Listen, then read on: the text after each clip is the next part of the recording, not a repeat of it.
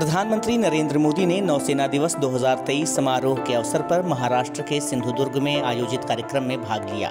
नौसेना दिवस हर वर्ष 4 दिसंबर को मनाया जाता है। कार्यक्रम को संबोधित करते हुए प्रधानमंत्री ने कहा कि भारत का विजय, बहादुरी, ज्ञान, विज्ञान, कौशल और नौसैनिक ताकत का गौरवशाली इतिहास रहा है। प्रधानमंत्री ने राजकोट किले में छत्रपति शिवाजी महाराज की प्रतिमा का भी अनावरण किया। उन्होंने भारतीय नौसेना के जहाजों और विशेष बलों द्वारा आयोजित परिचालन प्रदर्शनों को भी देखा।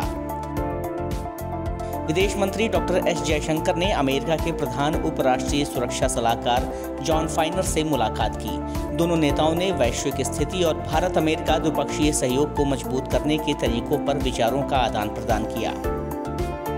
शिक्षा मंत्री धर्मेंद्र प्रधान ने संसद के शीतकालीन सत्र के पहले दिन लोकसभा में केंद्रीय विश्वविद्यालय संशोधन विधेयक 2023 पेश किया।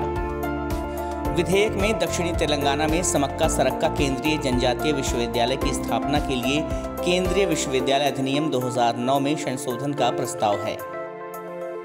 केंद्रीय मंत्री सर्बानंद सोनोवाल ने नई दिल्ली में भारतीय सांस्कृतिक संबंध परिषद द्वारा आयोजित नॉलेज इंडिया विजिटर्स कार्यक्रम के उद्घाटन सत्र को संबोधित किया।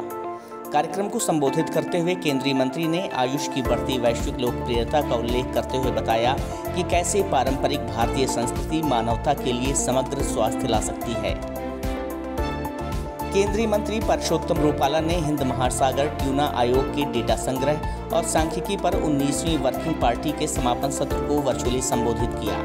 कार्यक्रम को संबोधित करते हुए केंद्रीय मंत्री ने कहा कि वैज्ञानिक समिति डेटा संग्रह, प्रसंस्करण और विश्लेषण की नीतियों को आकार देने में महत्वपूर्ण भूमिका निभाती है।